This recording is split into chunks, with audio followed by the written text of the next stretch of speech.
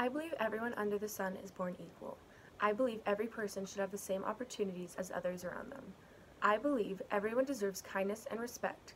I believe it is necessary to treat others the way you would want to be treated. This is a golden rule. I can thank my parents for constantly pounding these beliefs into my head throughout my childhood. These are the beliefs I've had since the day I could form my opinion of others.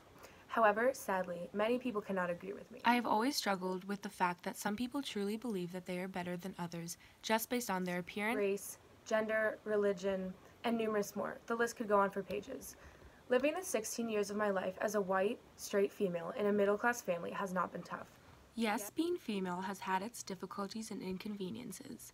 However, I have not dealt with the numerous types of horrendous oppression that multitudes of people who are perceived as different have. These people have to face unjust persecution from citizens, even the ones that are meant to protect them on a daily basis, just because they look different or believe different things than uh, that are perceived as the norm. The resilient people who survive through this every day are the same as everyone else. We are all born into, into our beautiful planet Earth, and we are all human beings who deserve the best things this life offers. Throughout my life, I have always strived to be kind to everyone, no matter who they are.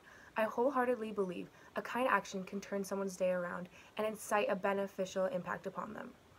It is critically important to remember the fact that you have no idea what a certain person has been through or is dealing with. The lack of knowledge of what a person has experienced in their personal life has continued to promote positive thinking towards others throughout my life. You truly cannot judge a person until you fully know them and their background. It seems to me as if many people in this world have no regard for what others have been through. For example, in the past few years, I've been shocked by the numerous stories and articles of injustice and oppression in today's society. Every day, I feel as if there's a new story that breaks my heart, whether it deals with racism, rape, immigration, poverty, or other issues. They all appear in the same fashion to me heart-rending and incredibly infuriating. The even more disturbing fact of these matters, if that is possible, is that they all center around discrimination of others. People who appear to deviate from the norm are faced with the most severe backlash from members of society viewed as superior.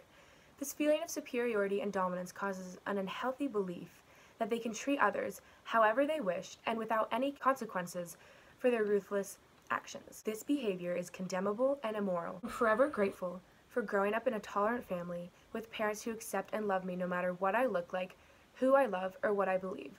I will stand strong with my belief that everyone is born equal. I will continue to support people who need it the most, and most importantly, I will continue to treat everyone with the kindness that they deserve.